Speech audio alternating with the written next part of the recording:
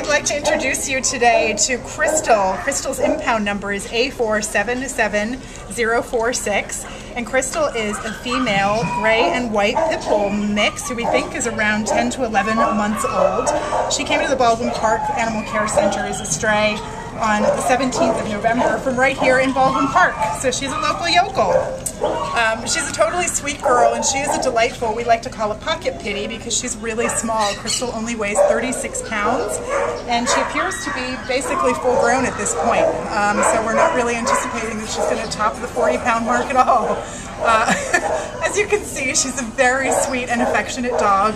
She really loves to be with people. She'll just melt into your arms if you open your heart to her. She is peppy when she's out and about and, uh, and walking. Uh, she could benefit from a little bit of additional leash training because she does pull a little when she's excited.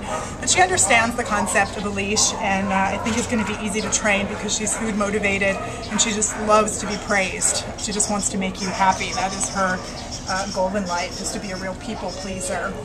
Um, she also seems to get along really well with other dogs. Um, unfortunately, right now she's got a little bit of kennel cough, so we're not able to let her play with her doggy friends.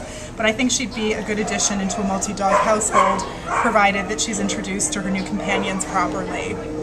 So Krystal's just going to be a wonderful companion in an active household, a great best pal, a really nice medium-sized uh, uh, dog, and a small size for a pit bull. So please come down to Baldwin Park and ask to meet Krystal. Her impound again is A477046.